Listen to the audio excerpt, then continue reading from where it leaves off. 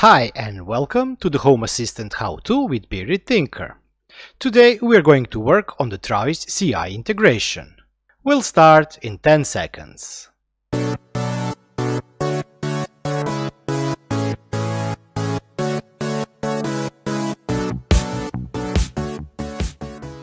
Before we begin today's episode, I really would like to thank all the members who have joined my channel. Thank you. Your support means a lot. And now let's get back to video. In last couple of videos that were related to the GitHub and Travis, what we did is we split our configuration.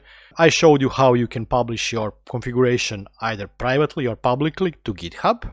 And also we configured the Travis so that any change on your configuration on one side or on the Home Assistant on the other side can be checked together with each other and see if your system passes or fails compiling. If you did watch my September stream, you also seen me have an issue with the my recording setup when I tried to update it to the version 0.115.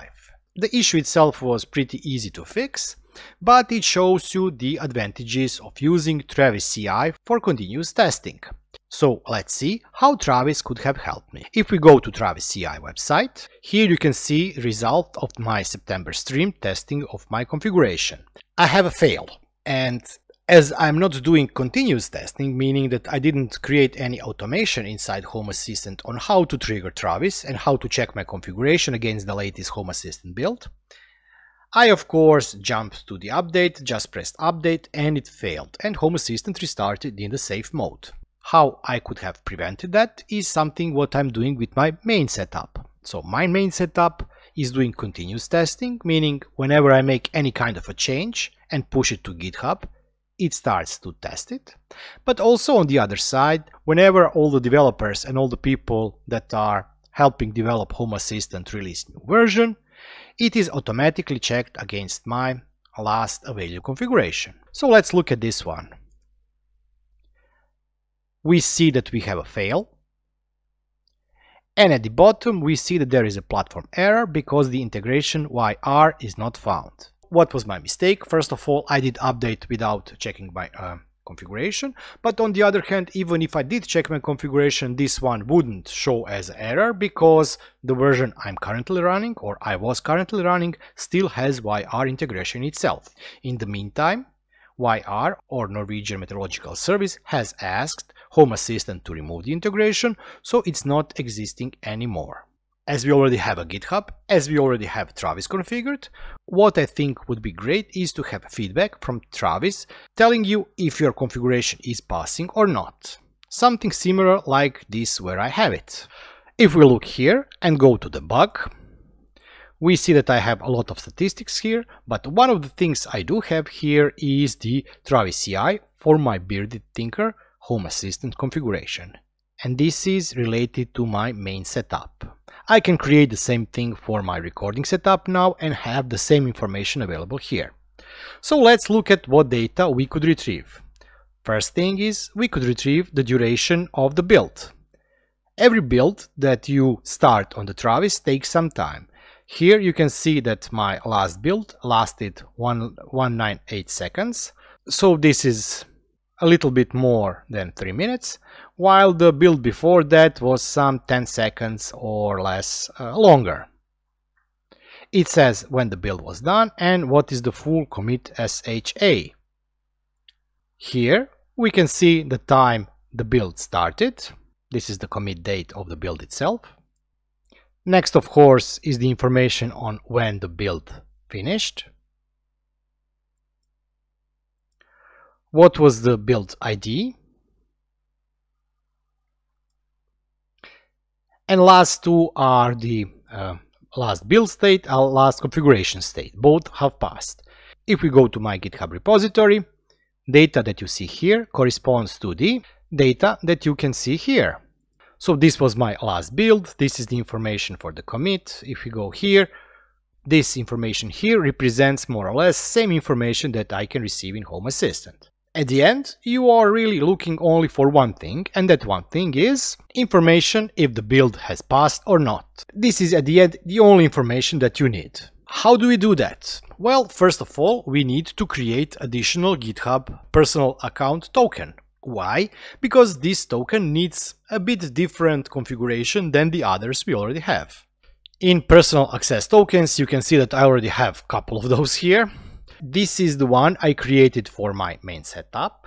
And let me show you how you need to create a new token so that Travis will be able to access the data that we want to track in Home Assistant. Let's press on Generate New Token. Let's give it a note. We will call this one Travis Recording Token. And this token needs specific scopes. So let's see what we need to select here. First one is repo deployment we need to access deployment status. Next one is repo status. We need to see a commit status. Next thing that we need is, let's find it here, read org, read organization and team members, read organization projects. We need user email to access user email address. This is only read only. And we also need write repository hooks. If everything is okay, you should have following repo status, repo deployment, read org, write repo hook, and user email. And let's click on generate token. Here we now have a new token. Remember to copy it because you cannot see it after you refresh the page. You will have to delete it and recreate new one. Let me copy it. And now we can go back to Home Assistant. So the next step is to configure Travis CI integration inside Home Assistant and this is done through the configuration YAML file or sensors YAML file. Let's open up Visual Studio Code. And now that we have Visual Studio Code open, we need to go to our sensors YAML file. Remember, I removed all my sensors from the sensors YAML file and what I'll do here in the new file is something that you should just do and add here. So for me it will be sensors folder, create new file and we will call it travis ci.yaml. And inside that YAML file, if you are using configuration.yaml file, you should have something like this, sensors platform. Travis CI. And here you should put your API key. Remember, we do not put and we never put our values here. Instead, what we use, we use secrets file. So it will be secret. And let's call this Travis CI key. After you create this inside your configuration YAML file or inside your sensor file, I misspelled it, sensor, it's not plural, it's singular. Don't forget that in your secrets file, you should add this Travis CI key. Travis, Travis CI key. And here you just paste the key that you've copied from the GitHub page that we just created. Let's save this. Of course, this is a fake file. Don't forget to do it in your real secrets file. Let's go to Travis CI. But since I'm not using either configuration YAML file or sensor YAML file, I have to fix this and make this work in my configuration. Okay, so this is how it will look for me and every other person that has started to split their configuration. So now everything is ready, you have your GitHub personal key for Travis CI generated, you have everything here. Next step for us is to go to configuration, server control check configuration, and we have to restart our server.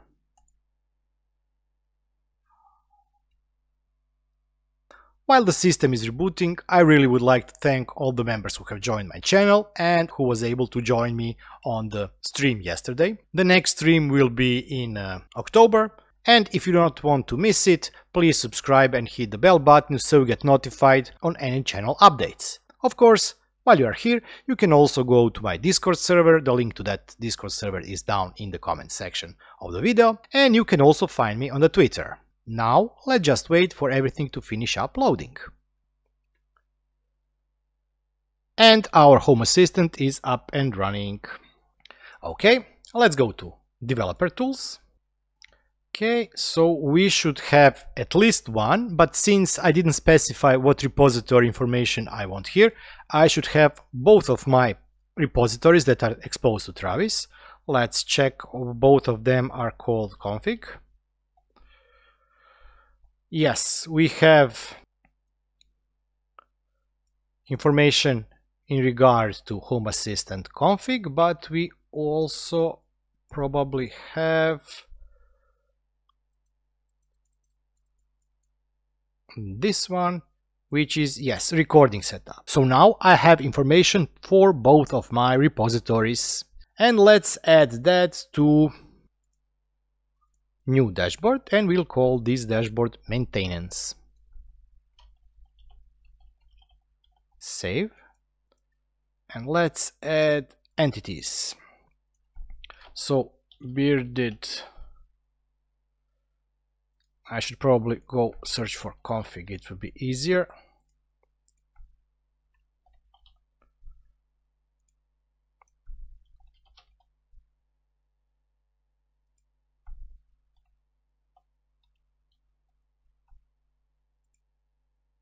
and we'll call this main setup Travis CI.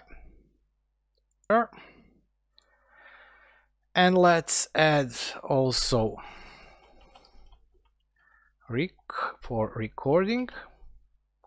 One, two, three, four, and five. Save. Oh, let me fix the name just. Recording setup Travis CI. Save. So now I have information for both builds. This is for my main setup and this is for my recording setup and what I need to do is I need to uh, copy my configuration to GitHub and make sure that I get next state as passed. Let me quickly do that.